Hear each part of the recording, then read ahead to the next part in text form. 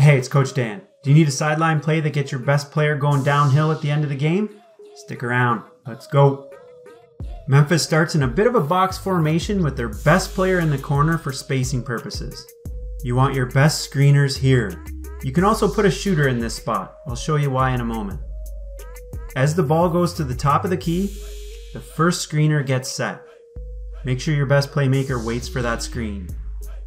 The dribble handoff gives space for your playmaker to turn the corner and attack the basket. If the defense switches or jumps out on that dribble handoff, we have a dive to the basket and the first screener pops out. If they can shoot, the play is even more effective.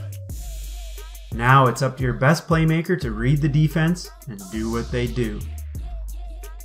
Here's another look using my custom Coach Calls Timeout Playmaker, complete with player responsibilities. Check out my channel for hundreds of more plays like this. If you like this video, grab another sideline play by tapping here. Thanks for watching, and I'll catch you on the next Coach Calls Timeout video.